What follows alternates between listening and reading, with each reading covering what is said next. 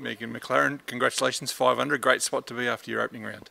Yeah, I'm really pleased with that. Um, nice to sneak one in there on the last, but yeah, it's a really solid start. What was the key to the to putting up a good score like that? Just um, patience. Like I didn't make any bogeys today, and that was. I feel like that's a pretty good effort round here. Um, especially you get on the wrong side of the hole, and you know you can get in tough spots pretty quickly.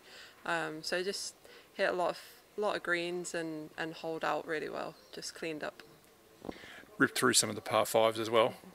Yeah, it was nice to pick up a couple of birdies on those, kind of on my first nine. Um, scrapped scrapped a bit of a par on seven, the last one I played, but um, but yeah, that that always makes makes things a little bit easier for the rest of the round if you can pick off those ones. Are you happy to have minus five, or do you feel like there were a lot of putts that sort of sat on the lip out there, particularly early on? Um, I'm pleased with that score. Like on the whole, I think it's probably the lowest round I've shot round here. Um, but I did, I certainly played well enough to maybe get a couple more out there. But like I said, if if you go bogey free anywhere, then you've got to be pretty satisfied. What is it about Coffs Harbour that sort of brings the best out of you? I Don't know. I need to move here full time. I need to get the tour to just set up shop here, and I love it here. You know, I can't complain. And you're in a very you're in a great place yourself personally, aren't you?